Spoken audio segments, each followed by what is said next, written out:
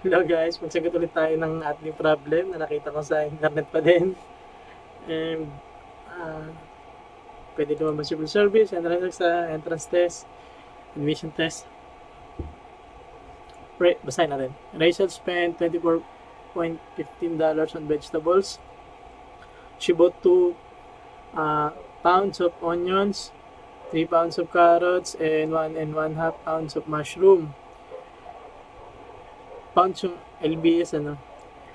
If the onions cost 13.69 per pounds and the carrot cost 49.29 per pounds, what is the price per pounds of mushrooms? Choices, $2.6, $2.25, $2.80, $3.10, $2.75. So, lahat posible maging sagot. So, proceed tayo sa tamang gawin sa atin. Okay. First sentence, 24.15 on vegetables. So, vegetables, ibig sabihin lahat na yun, no? na mga babanggitin dun. Tatlong item. Ito na yung total. Total. 24. Huwag ka nalagyan ng dollars, naka-dollars naman na lahat yan. eh. Okay.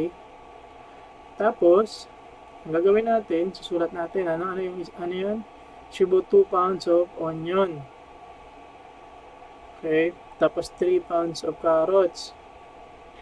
And uh, ngayon, gawin natin, anahin natin, sulat natin.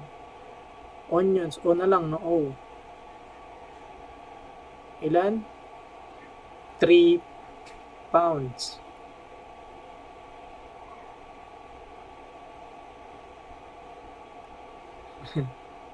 Ganyan mas madali sulat. Tapos, 3 pounds of carrots. See, yung carrots. Oh. Mali, mali, mali pala. Ito lang pala to. Ulit. Mali ako doon nabasa. Onions pala, 2 pounds. Tapos, yung carrots daw, 3 pounds. Tapos, ganyan sulat yung B kasi, nahihirapan ako magsulat ng B. Tapos, ah, mushroom, yung M. Ilan? Ah, huh? Yun one and one half. One, one half.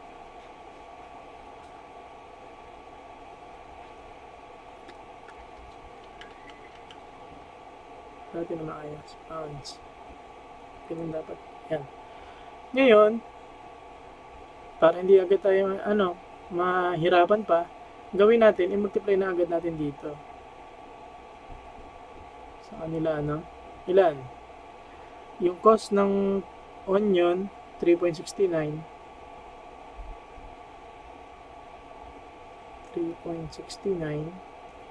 Tapos ito naman si 3 pounds carrots 4.29 tapos magkano naman si sino? Mushroom yun yung wala. Gawin natin yan. Uh, x. Bongga di ba? X. Ngayon aanahin natin. Yun yung pag-solve yan eh. Sulat natin lahat. Total cost 24 24 daw ano? 24 and 15 equals 2 times 3.69 plus 3 times 4.29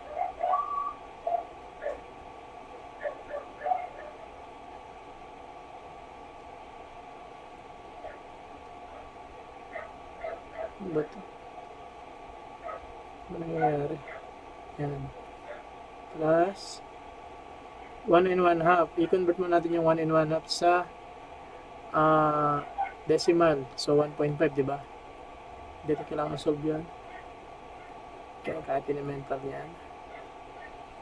Okay. Ngayon, ito imamain, ito, lipat natin sa kabila, lipat sa kabila. Pero kunin muna natin kung ano yung value nila. Okay. Ano bang value niyan?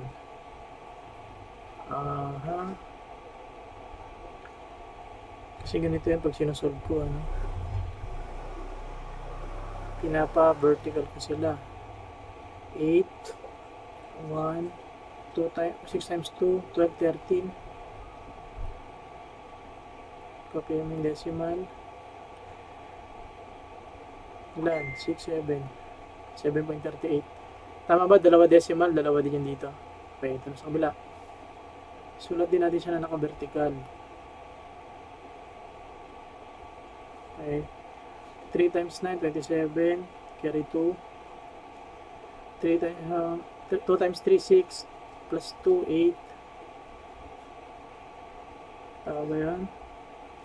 Yan yung ano natin. 8. Tapos 12. Tama? Dalawa decimal, dalawa din decimal dito. Okay? Plus tapos plus 1.5x ngayon pagsamahin natin yung dalawa na to para natin gagawin yun sulat din natin siya ng pababa tapat natin lang yung kanilang mga simal yan na natin ano okay ilan plus, plus lang natin. Nilipat ko lang dito, ano. Meron kasi mag-add dyan, eh, pagka nakapahal lang. Ginagano, ginagawa ko lagi vertical, ano. Which is the standard method. 1 plus 3 plus 8, ilan? 12. Ano ba?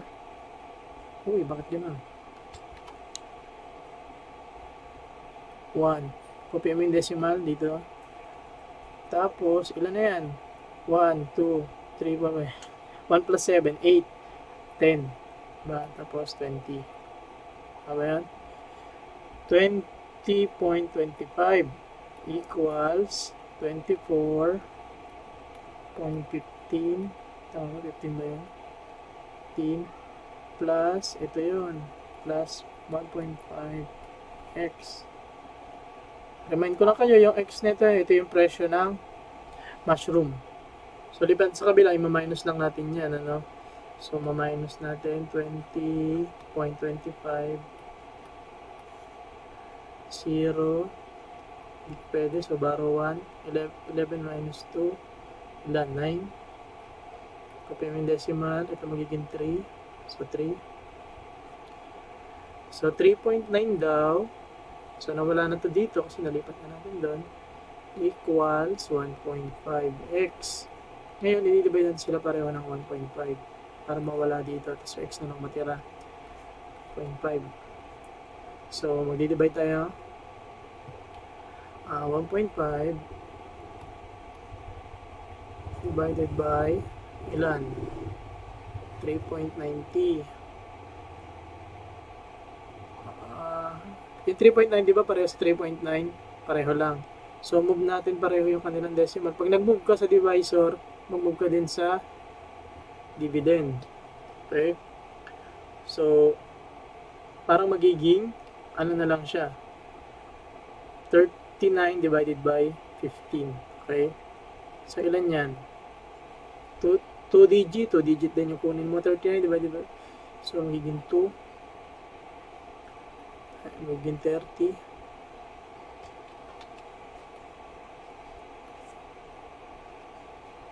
Okay? 1 digit, 2 digit, hindi na pwede. So, magdagdag ka ng decimal.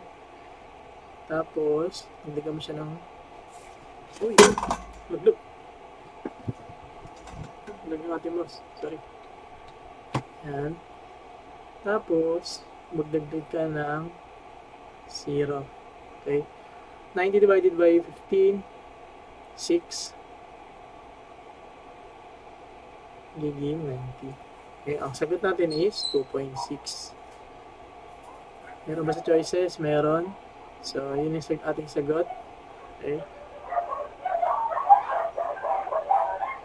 Uh, kung naaalala ninyo, kasi ating mga viewers ay eh, halo-halo, mula elementary hanggang college, hanggang graduate, no?